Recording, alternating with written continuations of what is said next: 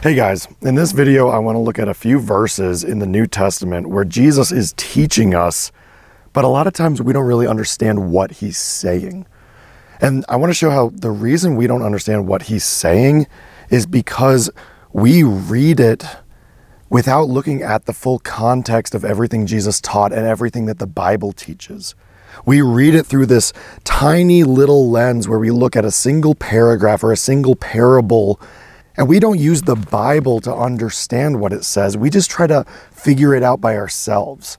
We look at it and we think we can figure everything out from that one little paragraph, and we don't pay attention to the whole picture.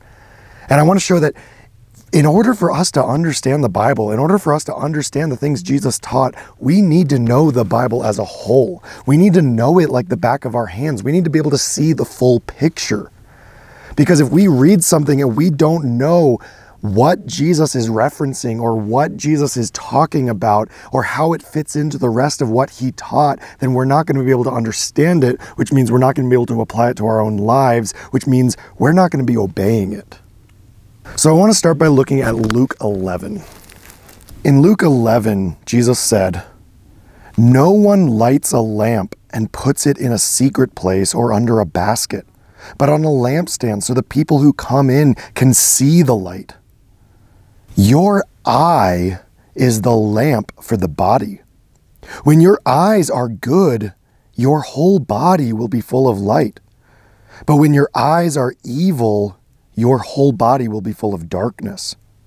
So be careful that the light in you is not actually darkness. If your whole body is full of light and none of it is dark, then you will be radiant as when a lamp shines on you. This is a passage that so many Christians don't really understand. They try to figure it out just by looking at this passage alone. But you can't understand this passage by looking at just this passage alone. You have to see how it fits in the whole message of what Jesus taught. You have to see how it fits together with other things that Jesus said. And if we understand what Jesus is saying here, then we can understand what he's saying in some other places. So, to start with, Jesus said, Your eye is the lamp for the body.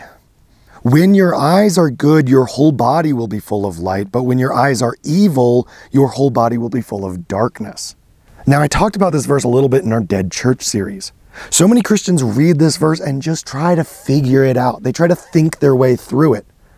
But Jesus is referencing something from the Old Testament. He's referencing something that his audience would have understood. And if we just try to figure it out by ourselves, we're never going to be able to figure out what he's saying.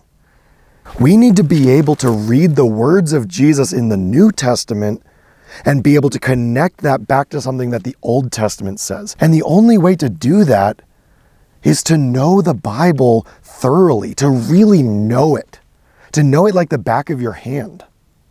Here, Jesus is referencing Deuteronomy 15.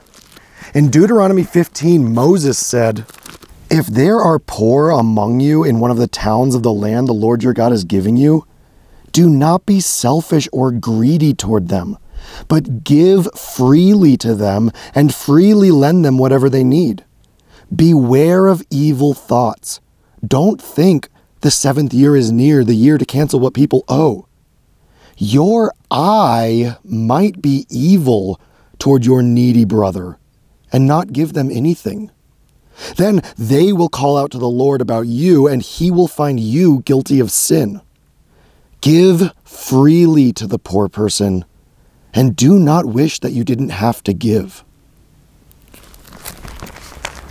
In this passage, Moses is saying that you have an evil eye if you see a brother or sister in need, but instead of helping, you look out for yourself. You think about what's best for yourself. You say, I don't want to help them because of X, Y, and Z. In this case, it was because the seventh year is near, the year when all debts are forgiven. Moses is saying, don't think, oh, this person's not going to have to pay me back, therefore I'm not going to give to them. But the concept is, don't think about yourself. Don't look out for yourself. When you see a needy brother or sister, don't look out for yourself.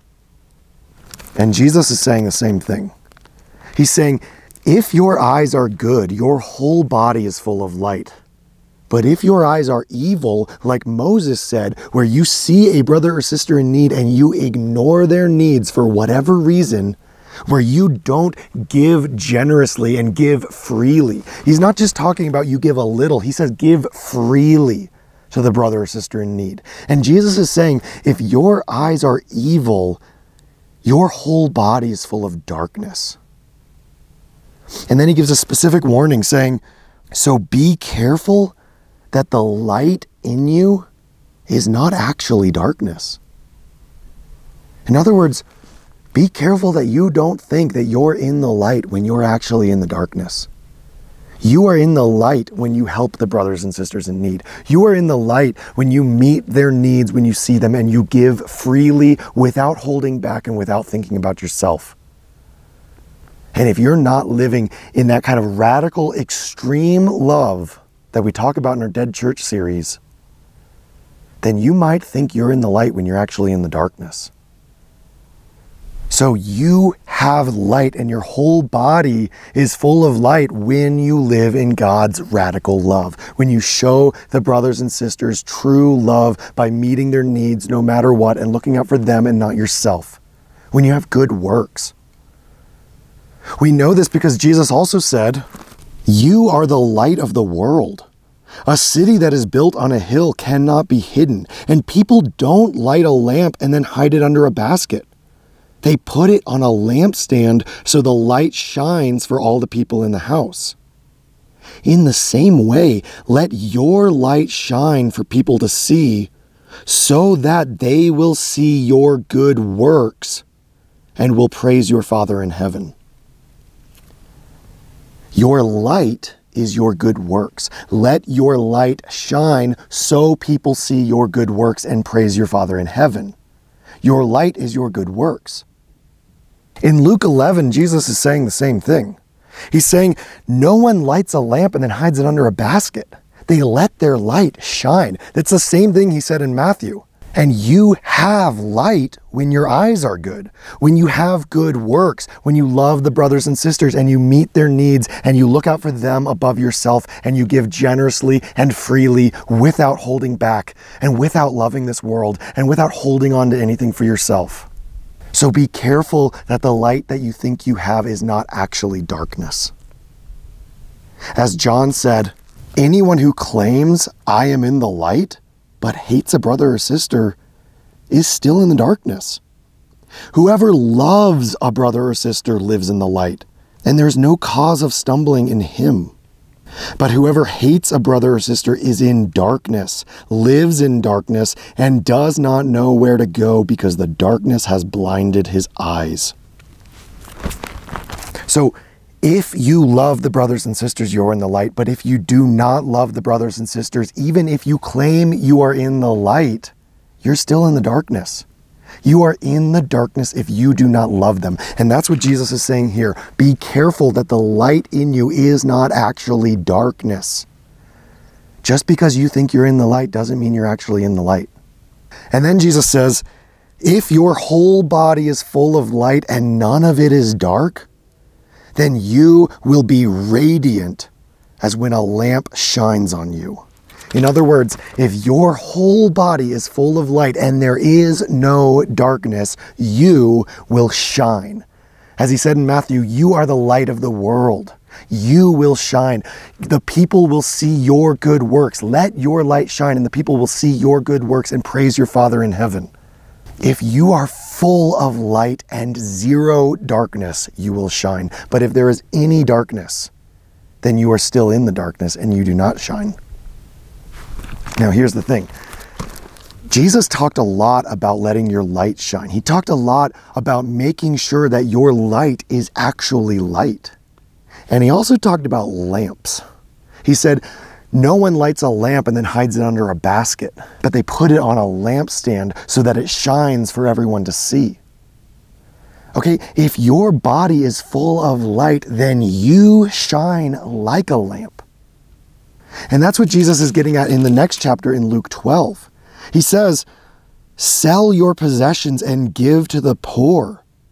Make for yourselves money bags that will not wear out, the treasure in heaven that never runs out, where thieves can't come near and moths can't destroy. Your heart will be where your treasure is. Be dressed, ready for service, and have your lamps burning.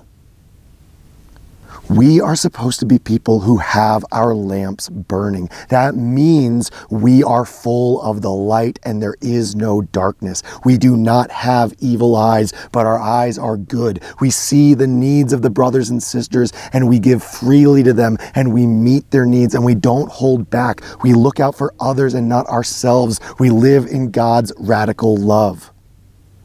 That's what it means to have our lamps burning. That's what Jesus is saying here. Sell your possessions and give to the poor. Be dressed, ready for service, and have your lamps burning. We are not supposed to be people who store up treasure for ourselves here on earth. We are not supposed to be people who pursue the American dream and pursue comfort and luxury and pleasure and wealth and all the other things that the world around us is pursuing. We're not supposed to be people who are living the capitalist life. We're supposed to be people who obey Jesus. We sell our possessions, we give to the poor, and our lamps are burning. Immediately after saying this, Jesus gives a parable of about a servant who waits for his master to come home. He says, Who is the faithful and wise servant that the master trusts to give the other servants their food at the right time? That servant will be blessed when the master comes and finds him doing his work. I tell you the truth, the master will put him in charge of everything he owns. So Jesus is saying the master has this servant that he puts in charge of feeding all the other servants. Okay, that's what we're called to do. We're called to meet the needs of all the other servants, meet the needs of the brothers and sisters. And he says that servant will be blessed when the master comes and finds him doing what he was told to do. But the servant who knows what his master wants, but is not prepared, or who does not do what the master wants, will be beaten severely. If you don't do what the master wants, if you know what he wants you to do and you don't do it, you will be beaten severely. That servant is not blessed when the master returns. Okay, this is all connected to what Jesus just said. Be dressed, ready for service, and have your lamps burning. Sell your possessions and give to the poor. That's what it means to be ready for the master to come home. So many Christians out there think that it means we need to be looking for his return. We need to be watching for his return. I've heard Christians say that we need to be watching the news and paying attention to what's happening in the world and ready and watching for him to come. But that's not what Jesus was saying. In all of Jesus' parables, he was talking about the servant who obeys and the servant who does not obey. He was talking about the sheep and the goats. He was talking about the people who are ready and waiting for him, obeying him, doing what they were told to do, and the people who are not doing what they were told to do. If you're sitting at home watching end times YouTube videos, but you're not obeying Jesus, then you'll be caught just as unprepared as anyone else. Okay, we all know that Jesus said he will come like a thief in the night. But the thing is, Christians think that applies to everyone. It doesn't. Paul said, You know very well that the day the Lord comes again will be a surprise, like a thief that comes in the night. While people are saying peace and security, they will be destroyed suddenly. It's like pains that come quickly to a woman having a baby. Those people will not escape. But you, brothers and sisters, are not in darkness. And so that day will not surprise you like a thief. You are all children of the light and children of the day. We do not belong to the night or to darkness. So we should not be like other people who are sleeping, but we should be awake and sober. If you are in the light, that day will not overtake you like a thief. Jesus told the church in Sardis that if they didn't repent, he would come against them like a thief in the night. When he comes like a thief in the night, he's coming against people. If you are taken off guard like a thief in the night coming against you, then you are on the wrong side. Jesus doesn't come like a thief in the night for those people who are living in the light. And what does it mean to live in the light? It means you see the needs of your brothers and sisters and you meet them. You give generously. You give freely, like Moses said, and you sell your possessions and give to the poor, like Jesus said. It means you don't hold back. It means you meet their needs. You were put in charge of feeding the brothers and sisters, and you were found feeding them. That's what it means to be in the light. And that's what Jesus says it means to have your lamp burning. Sell your possessions and give to the poor. Be dressed, ready for service, and have your lamps burning. In Matthew's account, he tells the same parable that Jesus told about the servant who's doing what he was told to do when the master arrives. He says, That servant will be blessed when the master comes and finds him doing his work. I tell you the truth, the master will put him in charge of everything he owns. Immediately after that parable, Jesus tells another parable. He says, At that time, the kingdom of heaven will be like ten virgins who took their lamps and went to meet the bridegroom. Five of them were foolish, and five were wise. The five foolish virgins took their lamps but they did not take more oil for the lamps to burn. The wise virgins took their lamps and more oil in jars. Because the bridegroom was delayed, they became sleepy and went to sleep. At midnight, someone cried out, Look, the bridegroom, come and meet him. Then all the virgins woke up and trimmed their lamps. But the foolish ones said to the wise, Give us some of your oil because our lamps are going out. The wise virgins answered, no, the oil we have might not be enough for all of us. Go to the people who sell oil and buy some for yourselves. So, while they went to buy oil, the bridegroom came. The virgins who were ready went in with the bridegroom to the wedding feast. Then the door was shut. Later, the others came back and said, Lord, Lord, open the door to let us in. But the bridegroom answered, I tell you the truth. I don't know you. So always be ready, because you don't know the day or the hour. This is another one of those stories that so many Christians don't understand because they read it by itself. They don't look at the context of Scripture. They think they can get the answers from just this one parable. They think all the answers are right there. All of the answers are here. You don't need a commentary. You don't need a pastor to teach you. You don't need someone to come explain it to you. They're all in the Bible, but they're not all in that one little parable. The context of Jesus' ministry and the context of the whole Bible is what will help you understand things like this parable. This parable is about people who have lamps. These lamps would run off of oil. So for them to not have oil means their lamps are not burning, their lamps are not shining. They do not have light, they're not in the light. And in this parable, there are five who are ready. When the bridegroom comes, their lamps are burning. They are alight. They are shining. But there are five whose lamps are not burning. Their light is not shining. They don't have good works. That's what this parable is about. Is a parable about having works or not having works, obeying or not obeying. As we talked about in our Dead Church series, a lot of Christians think we're saved by believing in the right information. But that's not true. That's not what the Bible teaches. We're saved by believing in such a way that it changes our life, by believing in such a way that we then begin to obey. Because if you believe Jesus is a king, but you don't obey him, then you don't really believe he's the king. That's what it means to have faith. And in the Greek, it actually means both believing and obeying. It doesn't just say you're saved by faith, it says you're saved by fidelity, loyalty, and allegiance. You're saved by following and obeying and being faithful. That's really what it means in the Greek when it says you're saved by faith. And that's what Jesus is getting at here. When he returns, if he finds you not having works, then you're one of the virgins who doesn't have oil in your lamp. and you get shut outside, and he says, I never knew you. That's the same thing he said in Matthew 7. In Matthew 7, Jesus said, Not all those who say to me, Lord, Lord, will enter the kingdom of heaven. Remember, that's what the virgin said when they knocked on the door. They were shut outside and they knocked on the door and they said, Lord, Lord. Okay?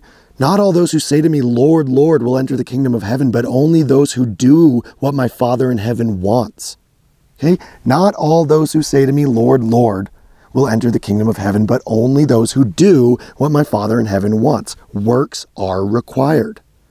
He says, On that day, many people will say to me, Lord, Lord, did we not prophesy in your name and cast out demons in your name and did many mighty works in your name?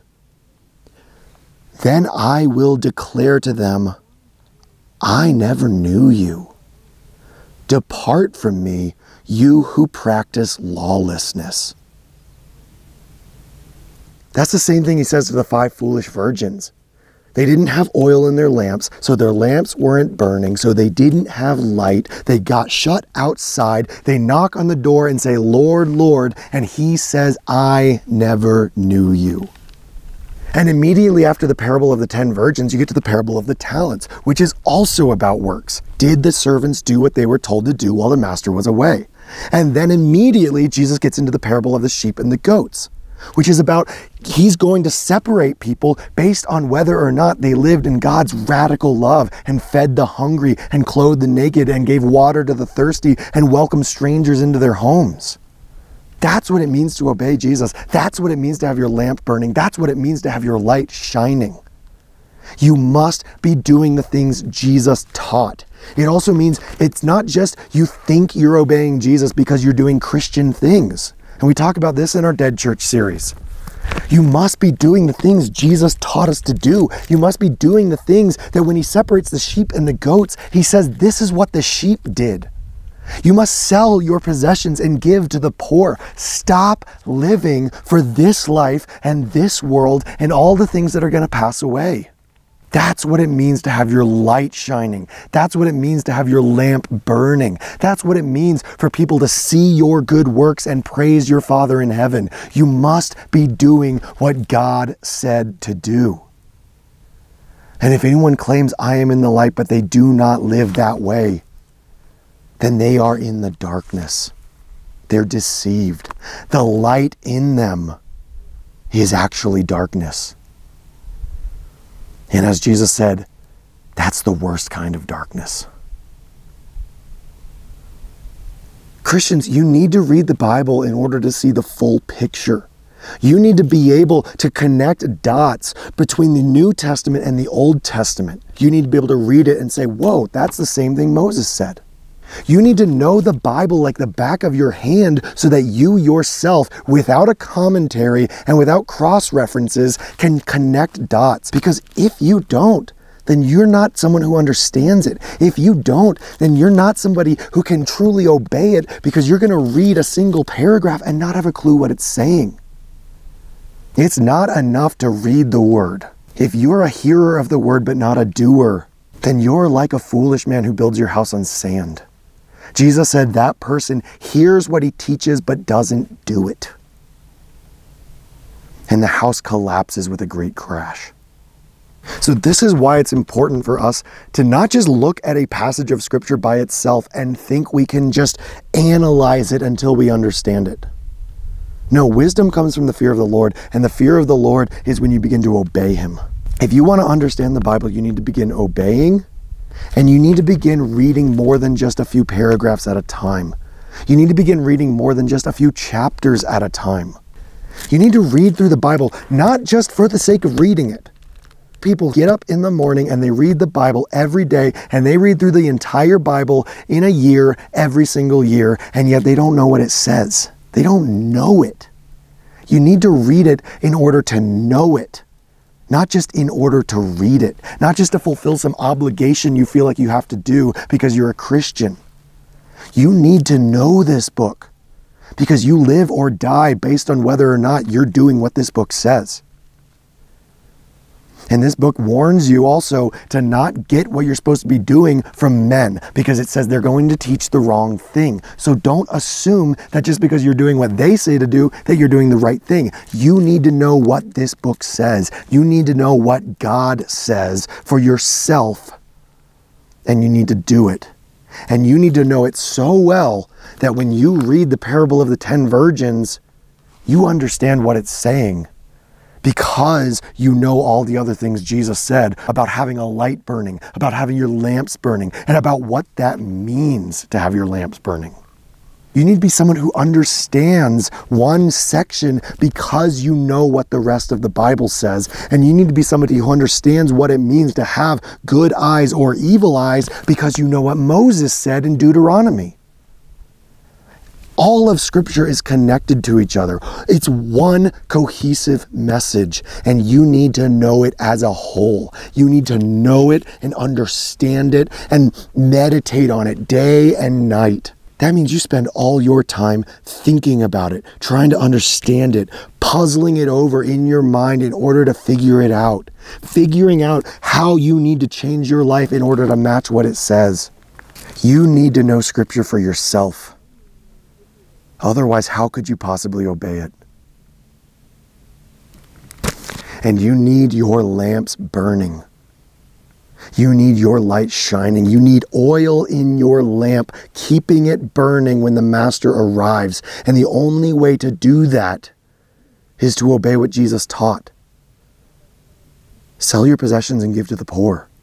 Store up treasure in heaven, not on earth. Feed the hungry, clothe the naked.